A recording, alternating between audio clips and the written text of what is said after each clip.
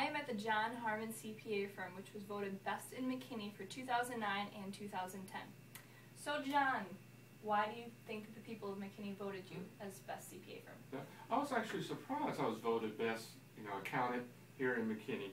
I'm a small firm, and there's a lot of large firms, and I thought all the large firms would get a lot of votes, and, and perhaps they did. I, I'm not privy to the actual vote count, but when I heard about the uh, the survey is being in the McKinney Living magazine, which is by the Chamber of Commerce, I said, well, I want to see how I'll do. And I, I submitted it to my clients. I sent out an email to my clients asking them to vote online for me.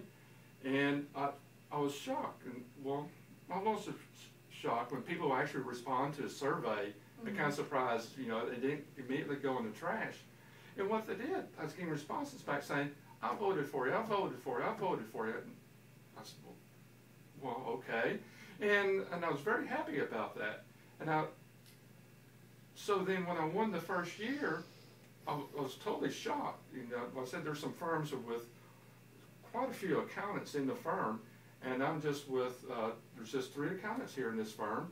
And last year there was just, you know, myself as the main accountant.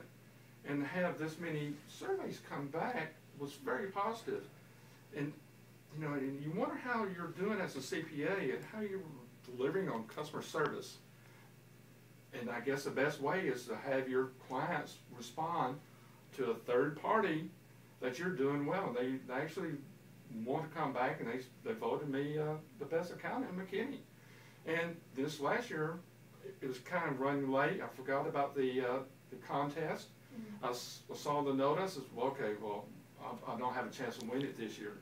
And I sent out my uh, email to my clients and had some people here uh, in the office uh, you know, to vote for me. And I won again.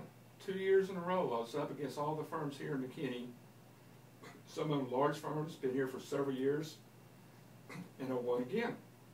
And I'm just so happy. You know, my clients uh, think that highly of um, the firm and the staff that they uh, voted us number one. I mean, it was a great honor, and I hope to live up with it, you know, and, and go for 2011 and win it again next year. You know, thanks for the question. Mm -hmm. And I wish you best of luck next year. Thanks. Thanks, John.